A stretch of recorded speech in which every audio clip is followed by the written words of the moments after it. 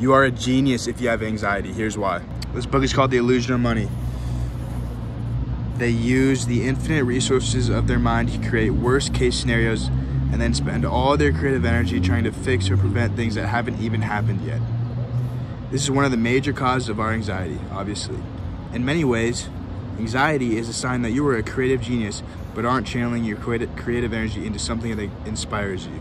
So if you were able to free up your mind and start taking all that energy, imagination of the future and putting it into the present moment and into something that'll actually add value to you instead of worrying about the future or, or trying to prevent things and making up fake scenarios, then you are actually a creative genius, and we all are, and you can innovate.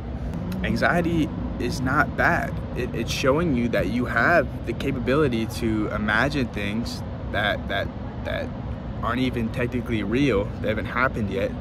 So imagine if you put that energy towards imagining things that could actually help you.